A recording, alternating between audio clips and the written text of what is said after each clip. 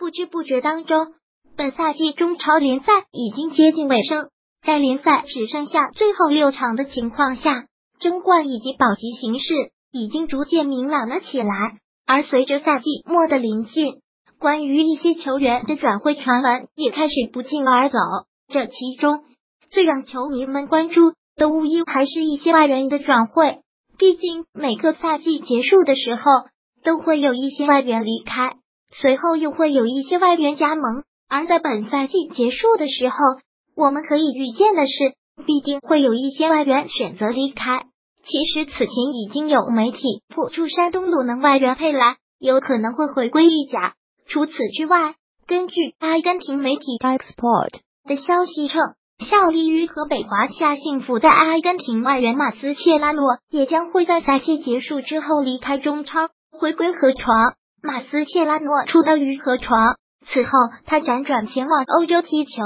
并且曾在利物浦和巴萨两家欧洲豪门俱乐部效力。为了能够保持状态参加俄罗斯世界杯，今年年初，马斯切拉诺从巴萨转会加盟到了河北华夏幸福。本赛季，马斯切拉诺为华夏幸福在联赛当中出场二十一场，贡献了一次助攻。作为防守型后腰，他在比赛当中的表现还是不错的，比较不错的承担起了球队的防守任务。但是在进攻端给予球队的支持并不算多。按照合同来看的话，马斯切拉诺和华夏幸福还有一个赛季的合同。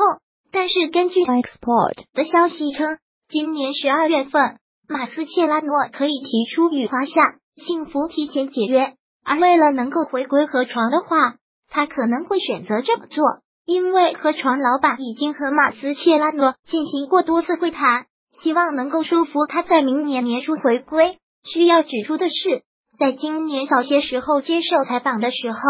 马斯切拉诺曾表示，离开巴萨没有直接回归河床，是因为不希望河床为他支付转会费。根据此前的媒体报道，马斯切拉诺在华夏幸福的年薪达到了一千万欧元，这也意味着在中超效力一个赛季，